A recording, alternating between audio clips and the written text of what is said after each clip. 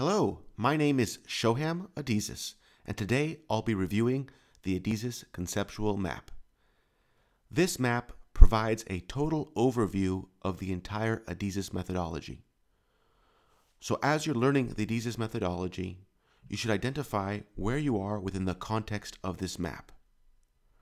So every word and arrow and symbol on this map has a meaning and you could expand on any one of these terms and find a chapter in a book or one of the top leaf videos that explains just one arrow. For example, we have a video called Accelerated Change, which talks about why there is change and why it's accelerating. There's another video about why change causes problems and opportunities. There's even a video for this arrow right here called Secret of Success. So every symbol on this map expands into a whole nother section of knowledge, and this provides the overview. So once again, what we're doing today is just taking a look at this big picture so that as you go on and study the methodology, you can always refer back and identify where what you're doing and what it has to do within the greater context of the Adizes methodology. So let's get started. It starts with change, and change causes problems and opportunities that we have to manage. But in managing change, we actually create more change, which creates more problems and opportunities that we have to manage, that we have to change, and so on. This is called the change loop. Well, you might ask if there's a change loop and whatever I do will create new problems that I'll have to manage, which will create new problems. So, how do I win? How do I know that I am managing well? And the answer comes in the form of a joke. Two guys are walking in Africa on a walking safari, and they come across a lion, and they can see by the way the lion gets up that it's going to chase them. So one of the friends drops to his knees and starts putting on his running shoes. The other guy looks at him and says, Hey, what are you doing? You can't outrun a lion. And he says, I don't have to outrun the lion. I only have to outrun you. Just like you cannot outrun a lion, you cannot outrun change. All you can do is put on your running shoes. What does it mean to put on your running shoes as an organization? It means we have to proactively identify and address our problems and opportunities and manage them by creating more change faster than the competition. The competition, which is subject to the same rate of change that we are. We just have to outrun them. One way we can traverse this loop faster is by knowing the road ahead. If we can predict what problems we will face in the future, we can more proactively speed up this process of adapting to them, of managing those problems. There are certain change that's external in nature, and we can't really predict that. That's really what analysts do. But there are other problems that are developmental in nature. Just like you can read a book about what to expect when you're expecting and what the terrible twos are like in the teenage years, the same thing for organizations. Organizations grow, age, and die similarly to other living organisms. So, that's where the life cycle theory comes in. It comes into this change loop right here. By knowing the life cycle, we can traverse this loop faster. Now, in order to manage, we must do two things. One is decide, but deciding is not enough. We must also implement. A great decision never implemented is worthless. You must decide and implement. What we identify is that the system we need in order to make good decisions is an open system, a system where if you disagree with me, I would ask you to please speak up. Tell me why you disagree with me so I can learn from you and make a better decision. On the other hand, the system we need in order to implement good decisions or implement decisions is a closed system. A system where if you disagree with me, I'm going to tell you to shut up. Here, I need you to speak up. Here, I need you to shut up. This we call a democratic system, an open system, a freedom of the press system where everybody has a say. Democracy as theoretically should be applied. On this system here, we need a dictatorship. We need do what I tell you to do and shut up and do it and no disagreement. Do you see the conflict between the two systems we need in order for us to manage.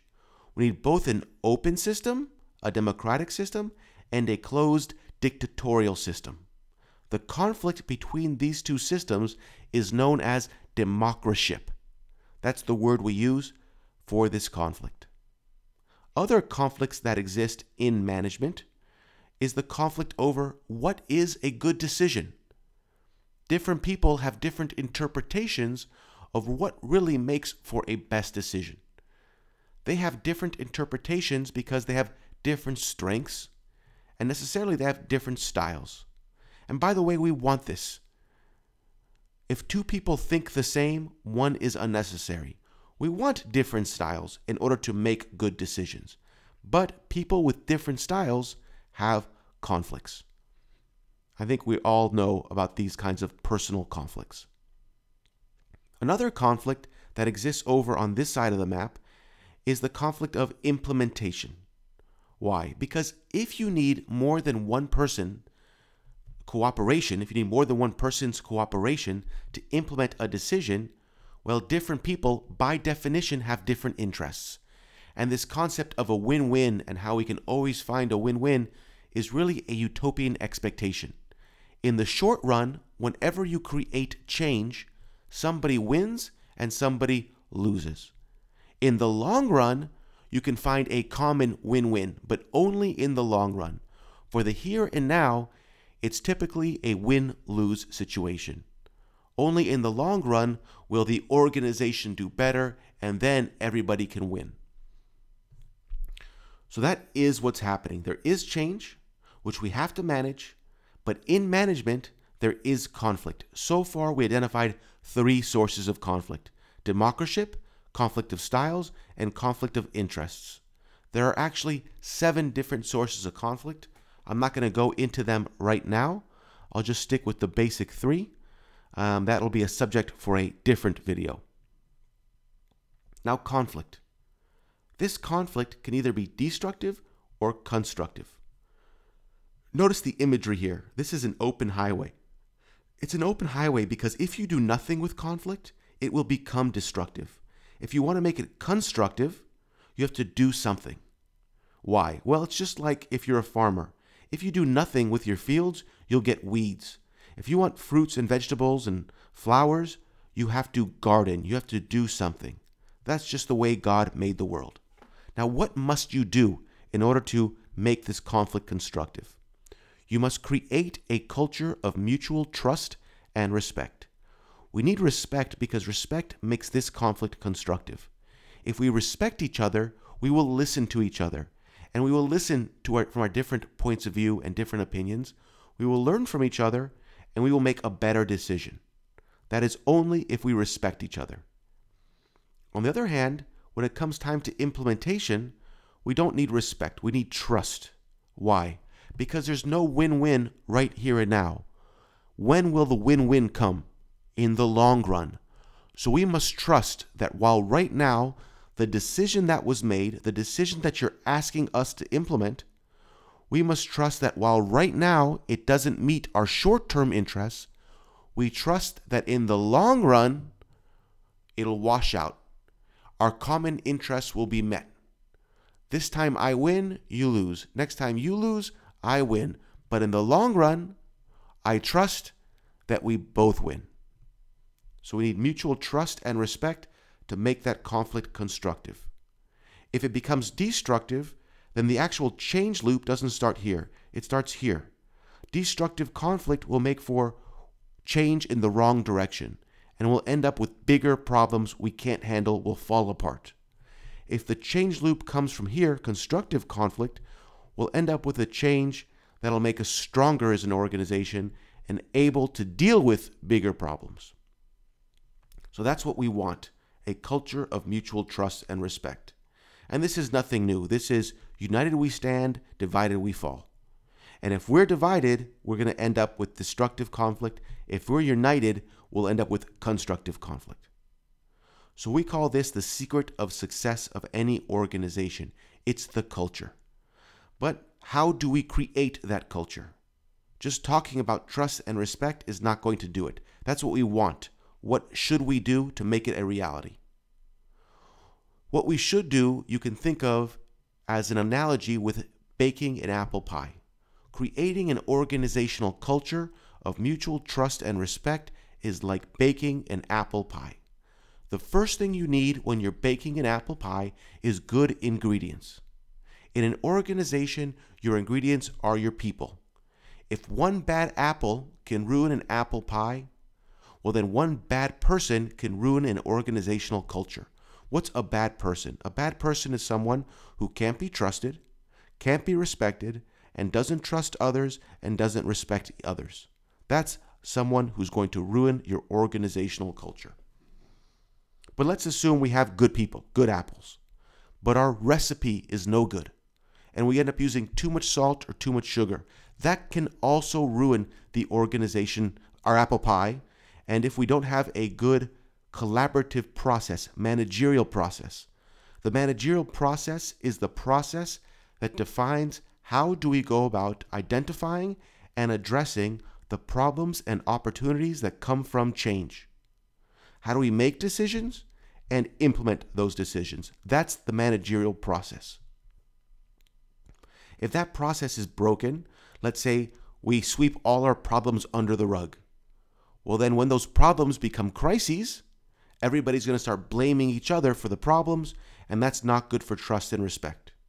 Maybe we all get together and have meetings and talk about our problems, but blame each other for the problems and point fingers.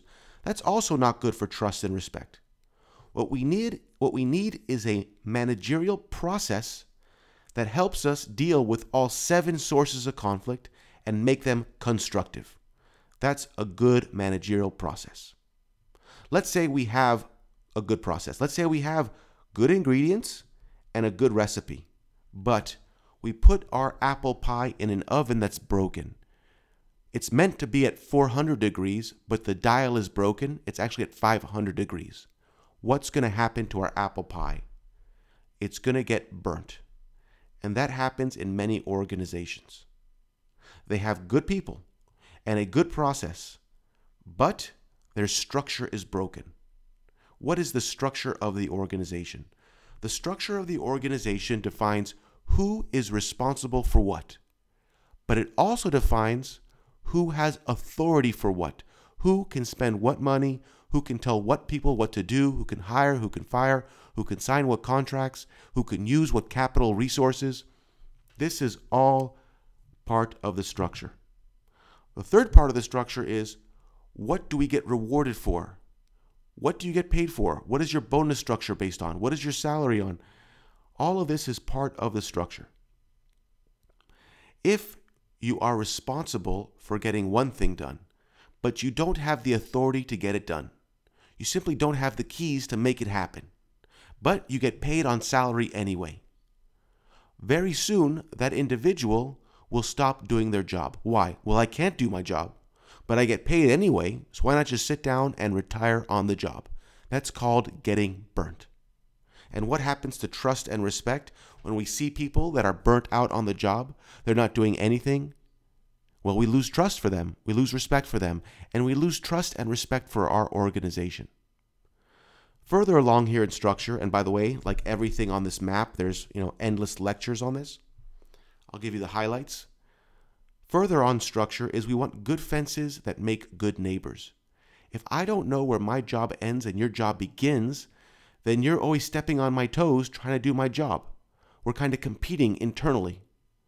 Further, we want transparent fences. I want to know what you're doing. I want to know, you know, I typically we know how much authority somebody has, but we don't know what their responsibility is. So by creating transparency in their responsibility and their authority, it cleans up a lot of the mess that happens in many organizations. Further, I'll go to one more is that you want to maintain control of the organization. If you structure an organization incorrectly, the top management loses control over short term versus long term goals or efficiency or effectiveness. The orientation who's at the wheel of the organization. If you structure it incorrectly, you no longer have your hand on the wheel and what happens to trust and respect when the founder feels like they've lost control of their organization? Will they come running in and start micromanaging because they feel like they've lost control? And now that kills trust and respect, micromanagement. Okay, finally, we're making an apple pie. We have great apples, great ingredients, a great recipe, a wonderful oven, works perfectly. But in your head, you believe we are making this apple pie for the Queen of England.